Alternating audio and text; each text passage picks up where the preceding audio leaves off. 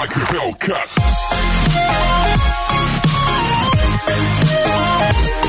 Welcome home, kabayan! Para sa inyong kalusugan at kapakanan, ang Pilipinas ay nagpapatupad ng walong hakbang na kailangang sundin ng bawat pasahero. Step 1. Registration. Magrehistro online o iscan ang QR code sa flat guide at sagutan ang e-case investigation form. I-upload rin ang picture ng bio page ng inyong passport. Siguraduhin kumpleto at makatotohanan ang lahat ng impormasyon, lalong-lalo na ang inyong pangalan, tirahan, email address, at cellphone number. Mayroong registration help desk na maaaring tumulong sa inyo. Step 2. Confirmation email at QR code.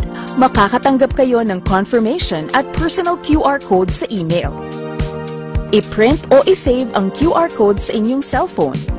Ang QR code at ang inyong pasaporte ay dapat daladala ninyo pagdating sa Pilipinas para sa prosesong dadaanan. Step 3. Briefing. Pagdating sa Pilipinas, makinig ng mabuti sa briefing sa airport para malaman ang mahalagang hakbang na pagdadaanan. Step 4. Verification at barcoding. Pagkatapos ng briefing, ipakita ang inyong passport at QR code sa verification counter. Magkakaroon din ng isang maiksing interview patungkol sa inyong records.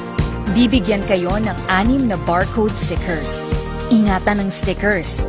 Idikit ang isa sa passport at ang natitirang lima ay iaabot sa taong mangangasiwa ng swab testing. Step 5. Swab testing.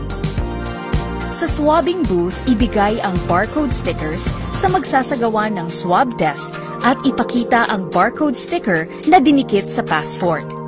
Huwag mag-alala at hindi masakit ang swab test. Kailangan lang pong sundin ng maigi ang instructions sa swabbing booth. Step 6. Immigration. Pagkatapos ng swab test, dumiretso na sa immigration at sundin pa rin po ang normal na proseso. Ipakita sa immigration officer ang dinikit na barcode sticker sa passport. Step 7. Quarantine Facility Assignment. Para malaman ang inyong quarantine facility assignment, pumunta sa mga help desk. Kung ikaw ay isang OFW, magpunta sa help desk ng Overseas Workers Welfare Administration o OWA. Kung ikaw ay isang OFW na seafarer na mayroong Local Manning Agency o LMA, magtungo po kayo sa kaukulang help desk ng inyong LMA. Kung ikaw ay isang returning Filipino, ang help desk ng Department of Tourism ang makakatulong sa inyo. Ang mga help desk na ito ang magbibigay sa inyo ng itinakdang hotel o quarantine facility na inyong titirhan ng ilang araw habang hinihintay ang resulta ng swab test. Sila na rin po ang mangangasiwa ng inyong transportasyon. Step 8. Resulta Ipapadala sa inyo ang resulta sa pamamagitan ng text message at email sa loob ng 72 hours. Kung negatibo ang resulta ng swab test, magpapadala ang gobyerno ng medical certificate bilang patunay nito. Ang lahat naman po ng pasyenteng positibo sa COVID-19 ay pangangalagaan hanggang sa paggaling. Mayroong 24-hour help desk sa lahat ng hotel at quarantine facilities o tumawag lang po sa mga helpline para sa mga katanungan.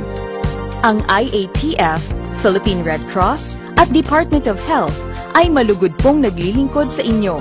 Maraming salamat sa inyong kooperasyon.